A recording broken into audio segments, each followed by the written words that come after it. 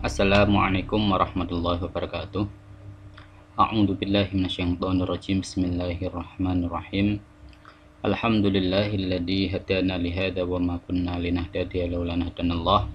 Rabbi israh li sadri wa yassir li amri wa hlul 'uqdatam min lisani yafqahu qawli. Rabbana iftah bainana wa baina qaumina bil haqqi wa anta khairul fatihin. Pada para mahasiswa yang saya banggakan, dalam kesempatan kali ini saya akan menjelaskan terkait dengan teori gender, ya. Teori gender dalam studi fikih. Namun sebelumnya saya mengajak kalian untuk mengawali dengan bacaan suratul Fatihah dengan harapan semoga kita mendapatkan ilmu yang berkah dan manfaat dari Allah Subhanahu wa taala. Al-Fatihah. A'udzu billahi minasyaitonir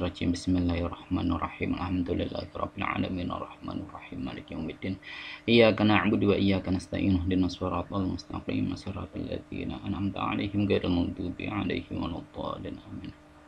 Oke. Okay. Terima kasih. Gimana kabarnya? Uh, baik ya. Saya harap kita semua selalu mendapatkan pertolongan ridho dan kesehatan dari Allah Subhanahu wa taala. Amin. Allahumma amin. Baik.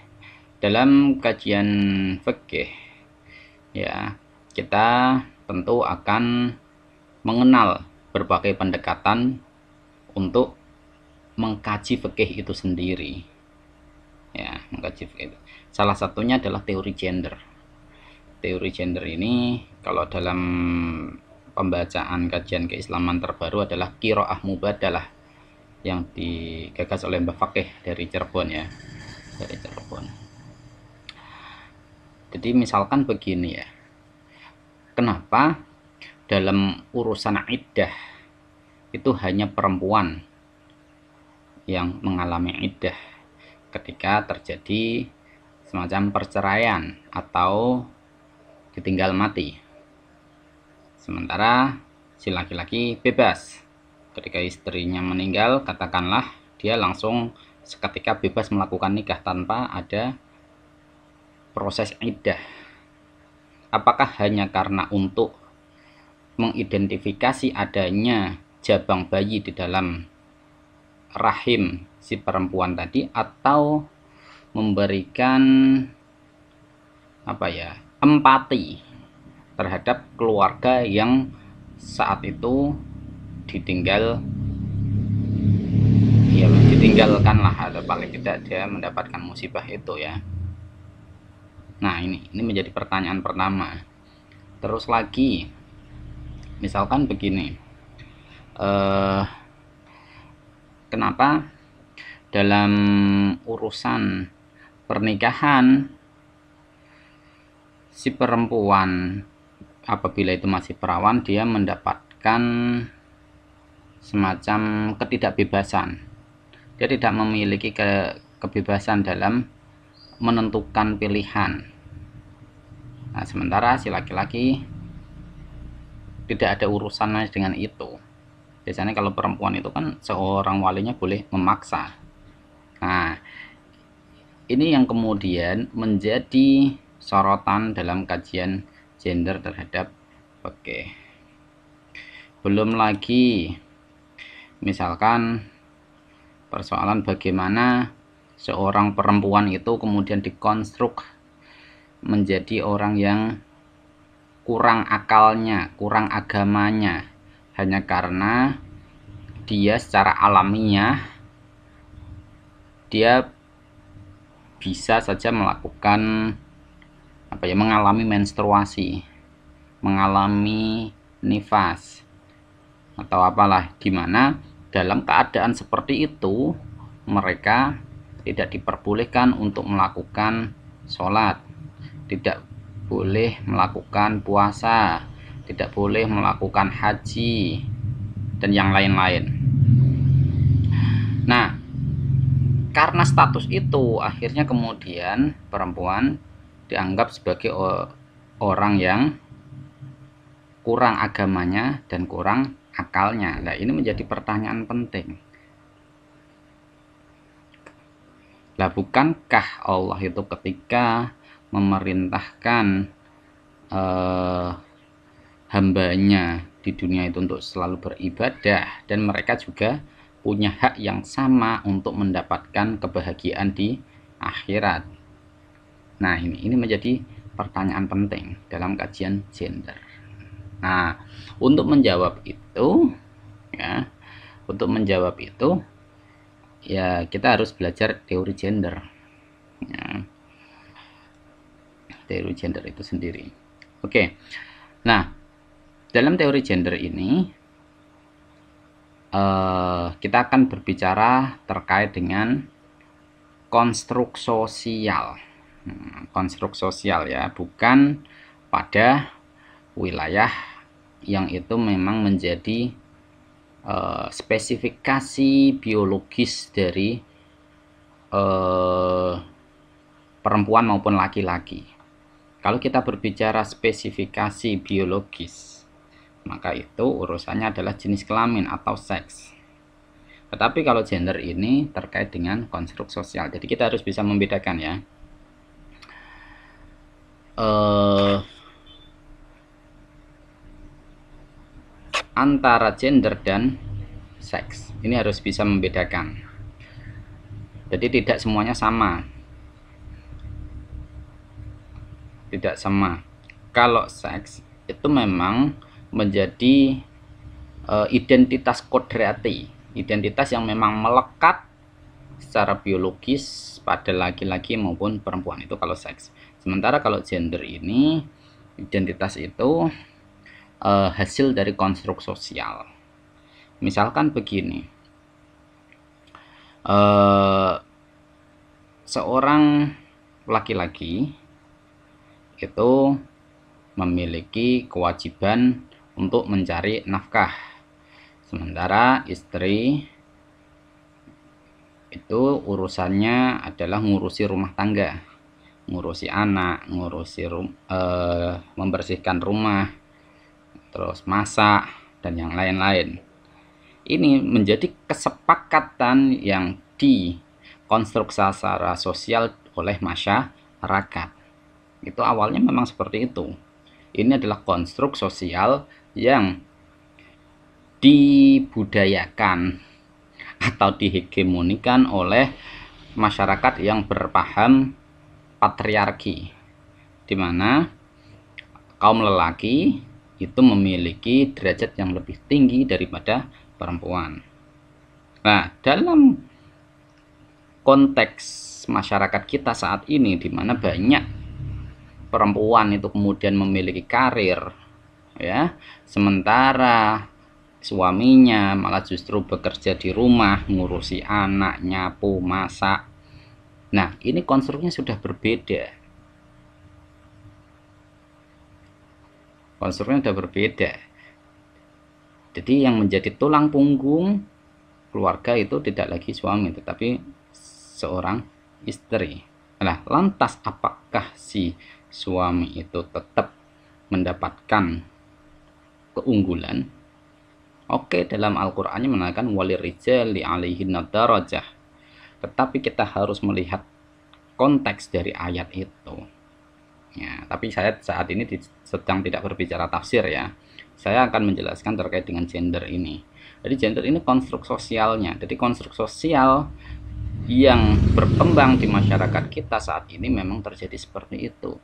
Di mana perempuan itu sudah masuk ke dunia kerja, menjadi wanita karir. Sementara laki kemudian dia hidup di rumah malah justru merumati anak. Ini konstruk sosial. Ya konstruk sosial. Ya apakah kemudian ketika konstruk uh, tugas-tugas dan peran-peran antara suami istri ini harus tetap sama terus seperti konsepsi awal? Kan tidak. Ini tergantung dengan konstruk sosial yang ada. Hmm, ini ini adalah gender. Gendernya di situ oke paham ya Oke, okay. nah ini jadi nanti kalau dikejar apakah kemudian yang memiliki kewajiban memberi nafkah itu tetap suami atau istri? Nah, ini menjadi pertanyaan dalam kajian fikih nanti. Nah, silakan nanti Anda kaji sendiri, tapi ini saya kasih teorinya. Ya. Nah, kalau kita berbicara seks, nggak akan bisa dirubah. Karena apa? Itu memang menjadi bagian dari kodrati. Misalkan seorang istri itu dia bisa melakukan uh, apa ya aktivitas reproduksi. Dia memiliki rahim, dia bisa mengandung, dia kemudian bisa melahirkan, dia kemudian bisa menyusui. Nah, ini urusan seks ini karena memang menjadi kodratnya dia. Gak mungkin loh kemudian rahimnya dialihkan ke seorang suami, kan tidak mungkin. Ya. Menyusui juga tidak mungkin seorang suami menyusui karena ini kodrati. Nah, inilah yang dinamakan seks beda dengan gender nah dari gender itu tadi konstruk sosial jadi aktivitas konstruk sosial nah sekalipun demikian terkadang ada orang yang masih bias terhadap persoalan ini. Namanya bias gender ya. Misalkan begini. Uh, oke okay lah. Seorang laki-laki itu tetap unggul daripada istrinya. Sekalipun dia sampai naik dewe neng omah tura turu dolan ya jagang jagong sing perempuan nyambut gawe.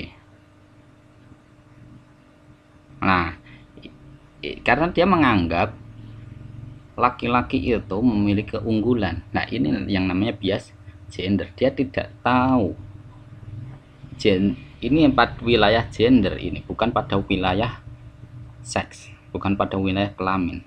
Nah jadi ketika berbicara pada persoalan gender ini sangat mengal sangat memungkinkan untuk mengalami perubahan struktur sosial. Ya. Nah ini peran sosialnya. Jadi ini bisa terjadi apa ya berarti pertukaran. Ya pertukaran peran. Misalkan terkadang seorang suami itu ganti yang mengurus anaknya sementara istrinya bisa bekerja. Atau dalam suatu saat istri, istrinya yang ganti mengurus anaknya suaminya ganti be, bekerja nah ini. Ini peran, peran sosial. Nah ini gender. Ya bisa dipahami ya.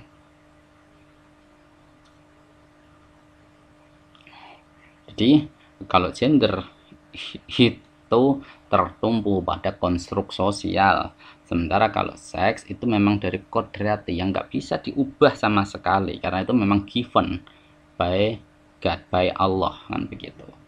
Gak mungkin kemudian laki-laki harus menyusui. Menyusui dalam arti menggunakan apa ya? Ya fisik dia. Tapi misalkan kemudian menyusuinya ya oke okay lah, menyusuinya dia membeli susu formula kemudian dia menyusui anaknya. Nah ini bukan pada wilayah seks tapi ini pada wilayah gender. Kenapa?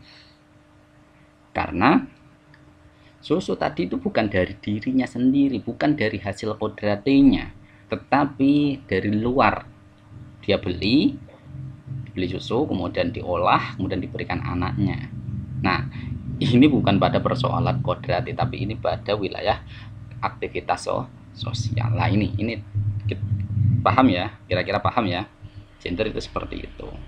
Nah dalam kajian gender itu memang selalu digagas oleh kelompok-kelompok feminis. Kelompok-kelompok feminis. Saya mengatakan Nabi Muhammad SAW itu adalah feminisme dalam Islam yang pertama kali. Kenapa demikian Nah ini saya kemarin sempat menulis ini. Tulisan bagaimana apresiasi Al-Quran terhadap perempuan? Di mana Nabi Muhammad Shallallahu Alaihi Wasallam itu menjadi aktor yang pertama kali mengkampanyekan gerakan feminisme dalam Islam ini sendiri. Saat itu Nabi Muhammad Shallallahu Alaihi Wasallam hidup di masyarakat Arab yang berpaham patriarki banget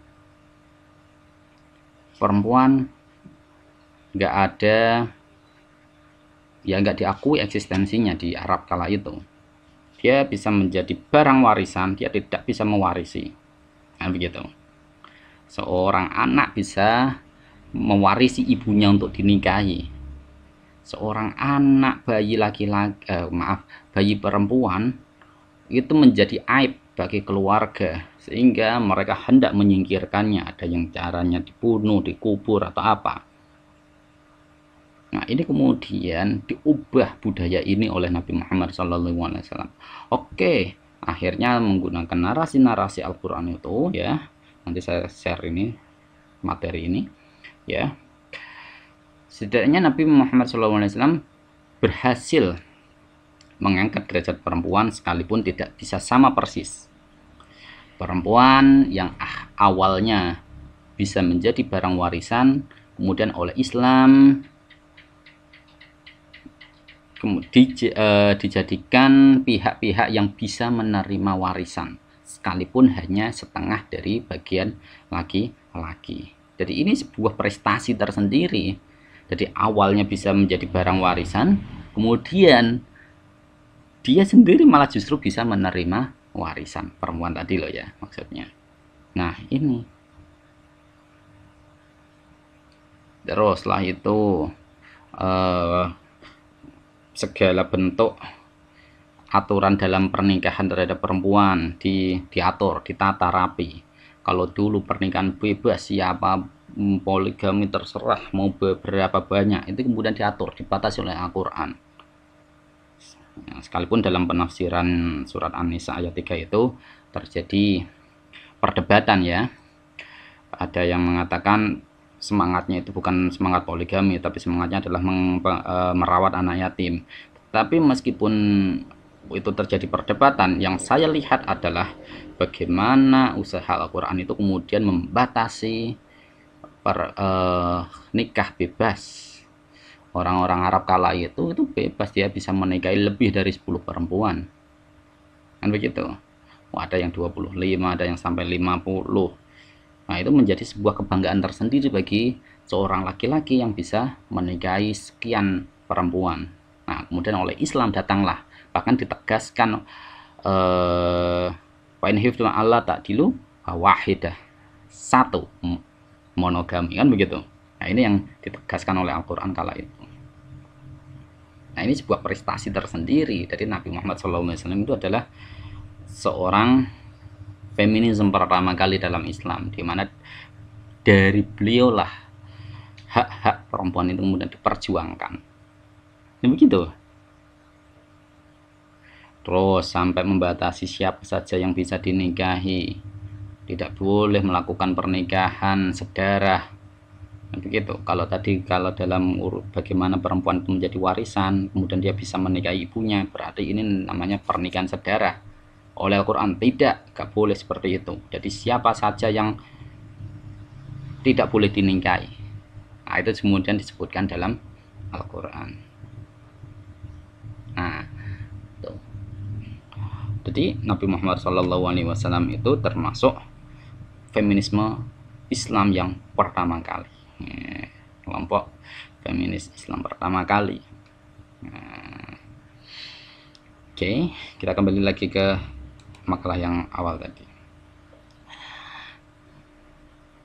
Nah, dalam teori gender itu banyak teori ya. Ada teori keseimbangan. Jadi dia itu berusaha untuk menyamaratakan. Adalah pokok imbang podo KB.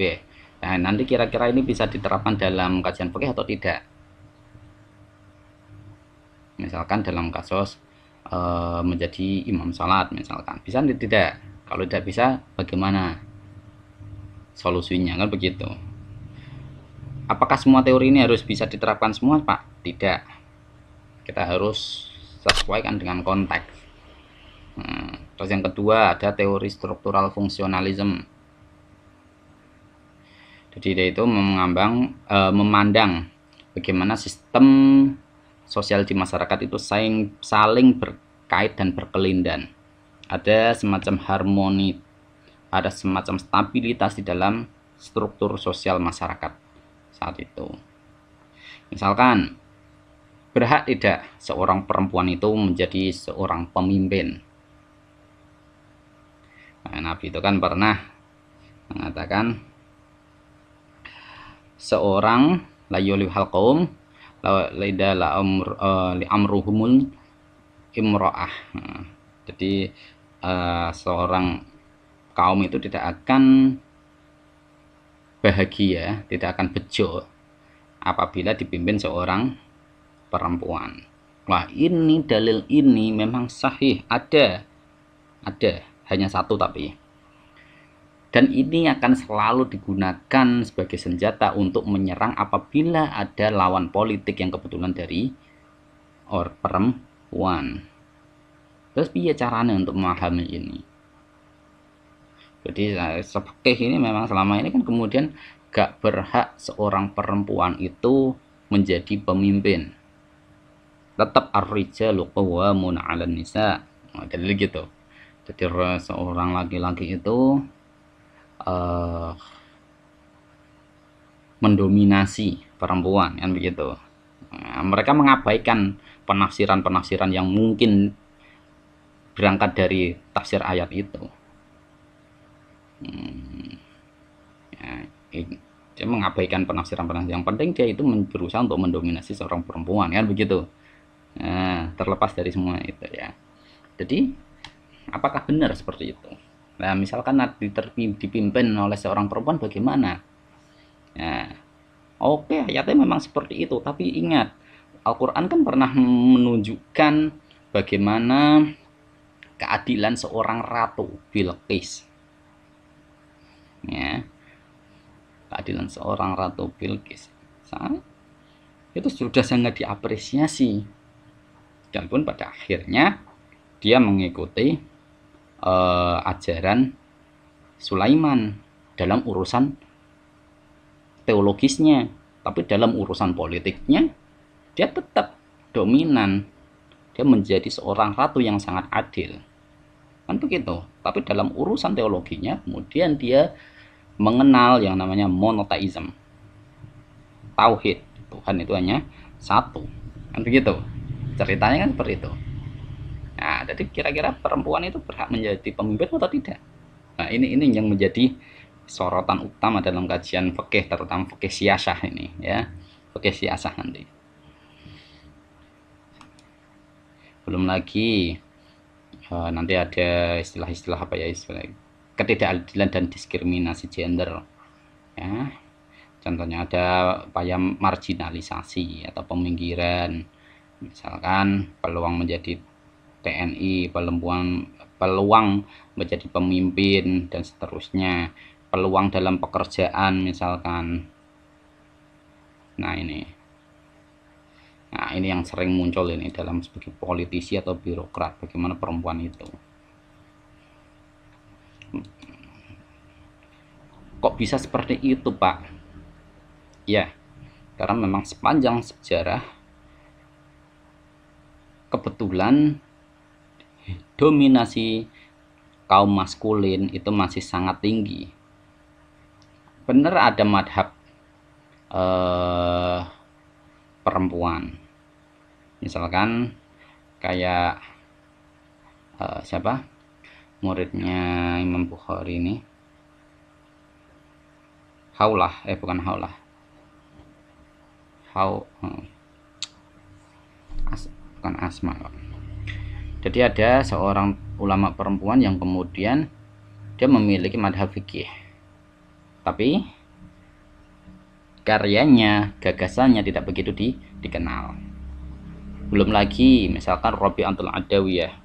Robi Antul Adawiyah itu juga memiliki kitab fikih. Hanya saja fikihnya tidak begitu terkenal. Kenapa?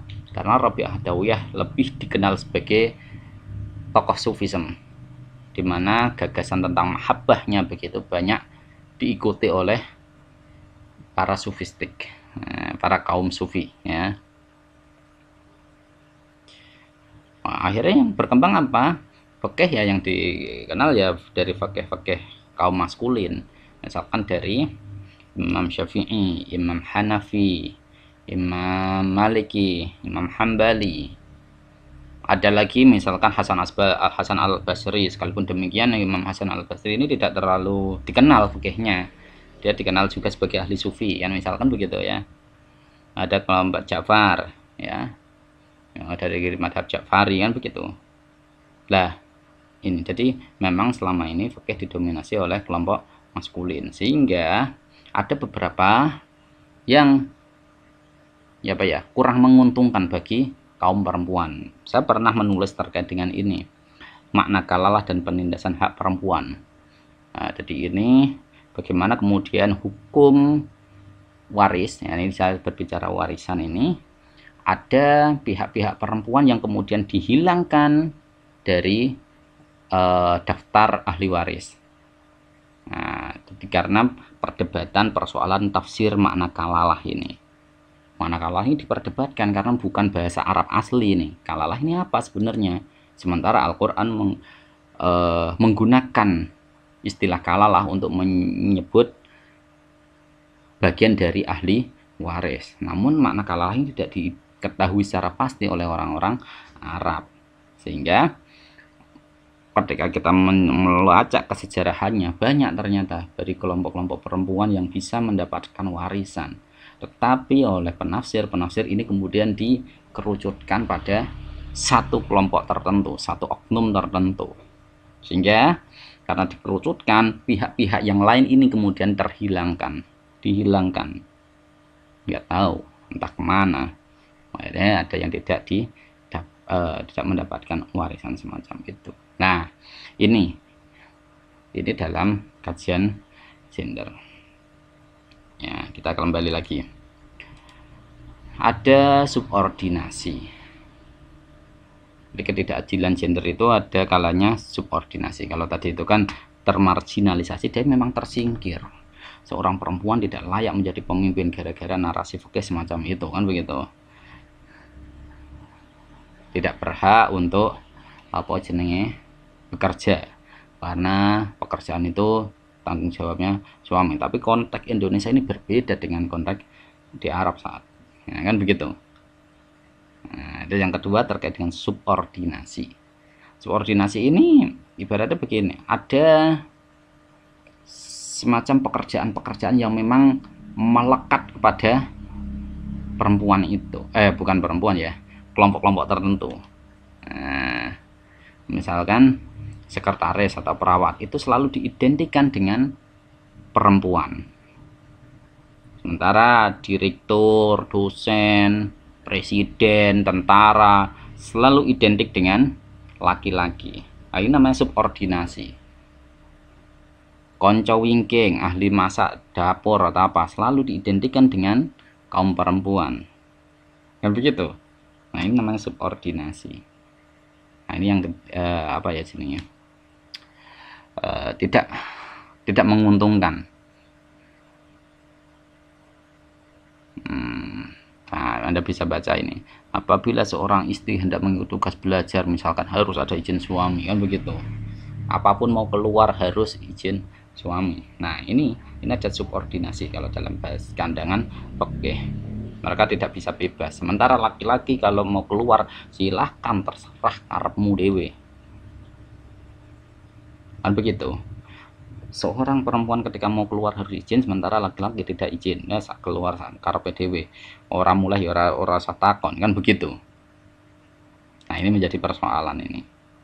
Nah Nah, jadi kalau seperti itu kan repot nanti. Misalkan seorang istri mau tanya, ibu bujuku kok orang balik-balik? Ring di kita misal takon nih wongnya tersinggung ngamuk kan begitu. Kan bisa ya. Kenapa? Ada semacam subordinasi semacam ini. Ada stereotype. Ya stereotype. Jadi seorang perempuan itu ya harus ngurusi persoalan yang domestik lah. Persoalan rumah tangga. Sementara untuk urusan-urusan yang luar ya itu harus laki-laki. Nah ini ini menjadi per, pertanyaan besar dalam kajian ini. Belum lagi urusan uh, kekerasan. Ini termasuk ketidak bentuk ketidakadilan gender. Misalkan suami itu memang berhak untuk dalam fikihnya itu memang dikatakan suami itu berhak memukul istrinya fadribuhunna kan begitu Al-Quran begitu dan kemudian Al-Quran kemudian dirumuskan sebagai fikih suami berhak memukul istrinya ketika terjadi proses nusus itu. Atau ngambek lah ya cara nih. Berhak mukul. Tapi apakah benar-benar dipukul yang bagaimana kan begitu? Apakah benar mukul yang anu atau nah, ini perlu dikaji, dikaji ulang teksnya itu.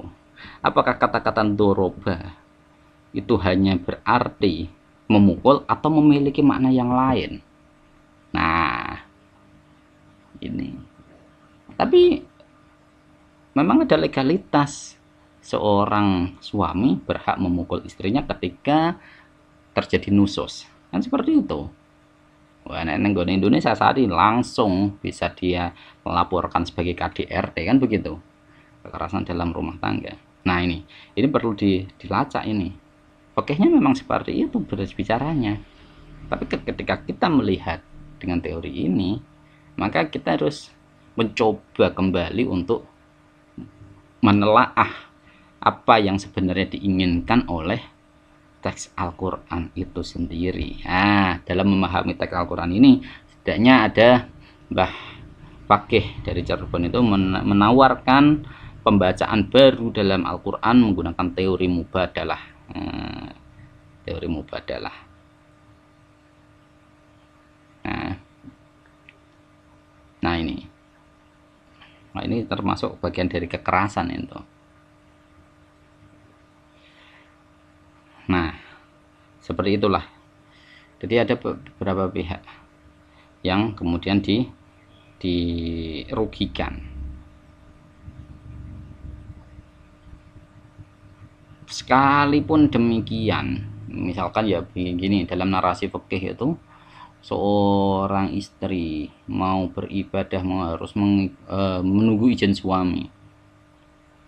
Sementara nek misal suami ini ratau ibadah besok nenggone akhirat ini ada dua kemungkinan dua pembacaan. Dia gagal untuk menuju surganya karena dia tidak mendapatkan izin suami. Nah itu satu pandangan yang paling memberatkan bagi perempuan ini ya ini e, memang sudah ditanamkan sedemikian rupa sudah didoktrin pada eh, generasi-generasi pemudi ya. Sudah seperti itu. Terus yang kemudian kedua dia tetap bisa mendapatkan pahalanya. Udahlah itu urusannya dia sendiri kok. Kenapa suaminya nggak mau? Begitu. Tetapi dalam fikihnya itu tetap ditekankan pokoknya mau tidak mau harus mendapatkan izin suami. Nah, ini menjadi pertanyaan besar. Manakala ketika seorang istri besok mau menuju surga, gara-gara dia memang di dunianya sudah sering melakukan ngaji tetapi karena tidak mendapatkan izin suaminya dia gagal masuk surga seakan-akan pintu surga itu hanya dimonopoli oleh seorang suami lah nek suaminya podo ahli ibadah sih masalah lah nek suaminya bejat biar nah ini kemudian perlu ditelaah ulang Nah, bisa Anda menggunakan teori kiraah mubadalahnya Mbak Fakih tadi. Gimana kira-kira kita melihat fenomena semacam ini. Nah, kira-kira begitulah ya. Nah, jadi teori gender ini kita berusaha untuk menelaah ulang sebenarnya yang diinginkan oleh Al-Quran itu apa? Karena ketika kita mencoba untuk membaca ayat ya, ayat Al-Quran, misalkan ayat ini saya kemarin sempat nulis saya, saya lupa ya. Man amila sholihan min dakarin aw unsa wa huwa mu'minun fal nuhiyannahu hayatan thayyibah wa lanajziyannahum bi ahsani ma kanu ya'malun. Jadi siapa pun baik laki-laki maupun perempuan yang mau melakukan pekerjaan yang baik dan dia dalam keadaan iman maka dia akan berhak. Mereka semua itu berhak untuk mendapatkan kehidupan yang layak kelak di hari kiamat sebagaimana yang mereka kerjakan. Nah ini. Jadi Al-Quran sudah memberikan garansi-garansi itu. Tidak hanya satu ayat. Ya. Tidak hanya satu ayat. Banyak ayat yang menyatakan ada keegaliteran seorang perempuan maupun laki-laki dalam urusan amaliyah. Dalam urusan amaliyah. Dia berhak mendapatkan kesempatan yang sama. Dia juga berhak mendapatkan imbalan yang sama punishment yang sama. Dia bisa mendapatkan surga yang sama kan begitu? Nah ini ayat Al-Quran sudah menyatakan seperti itu. Jadi kita tidak bisa kemudian uh, apa ya jenenge? Memboikot surganya perempuan hanya karena dia tidak mau menerima apa mendapatkan izin dari suaminya nah itu tidak bisa seperti itu Nah, jadi silahkan nanti dibaca sendirilah kira-kira bagaimana uh, fakih ini harus dilihat kembali, dikaji kembali. Uh, Oke, okay. kurang lebihnya itu yang dapat saya sampaikan. Nanti kita bisa lanjutkan dalam uh, eh, WA group ya untuk pertanyaan. Oke, mari kita akhiri dengan bacaan Alhamdulillah bersama. Alhamdulillahirrabbilalamin Akhirul kalam Wassalamualaikum warahmatullahi wabarakatuh